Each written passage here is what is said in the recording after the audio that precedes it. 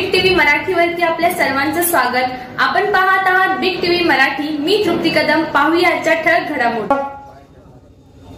आपल्या सर्वांना जी उत्सुकता होती की दादा प्रत्येकाची भावना होती या तालुक्यातल्या प्रत्येक पक्षाच्या आता मगाशी आनंदराव पाटील साहेबांनी सांगितलं की जरी भाजपचा असला जरी काँग्रेसचा असला आणि जरी राष्ट्रवादीचा असला अगदी शिवसेनेचा सुद्धा कार्यकर्त्याच्या मनामध्ये भावना हीच आहे की आपल्या सांगली जिल्ह्याचा खासदार कोण झाला पाहिजे?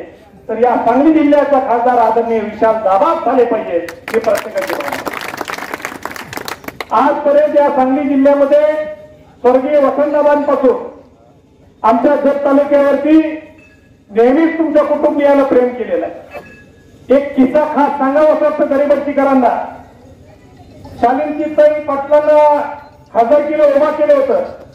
त्यावेळेस जत तालुक्याच्या प्रचाराची धुरा माझ्या आजोबा स्वर्गीय बिहार काका शिंदेकडे होती.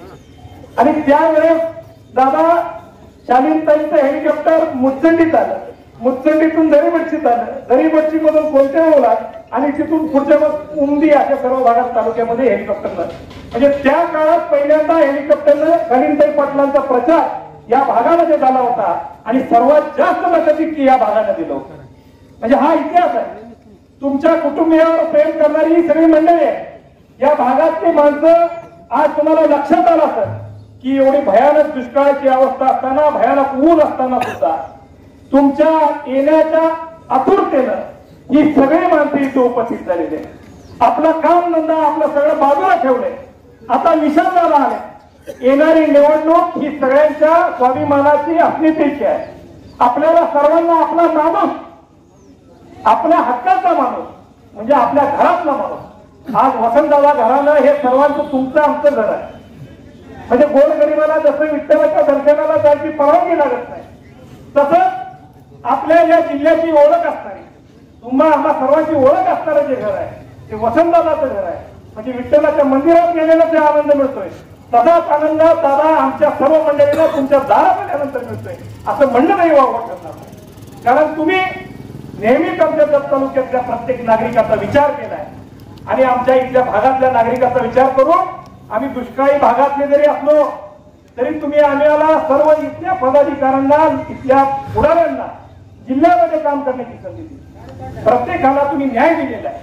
जिथं जिथं तुम्हाला या माणसांना न्याय देता येईल. आज नेहमीच जिल्ह्यामध्ये पश्चिम भागातले सगळे नेते म्हणतात की खरं तर जत तालुक्याचं जिल्हा परिषद असू दे मार्केट कमिटी असू दे फार वर्चस्व असते. का असते तर ते आदरणीय दादानी घालून दिलेला म्हणजे पायदंड आहे तो असा आहे की जत तालुक्याला नेहमी झुक्त माप भेटते दादा मार्केट कमिटीची स्थापना झाली.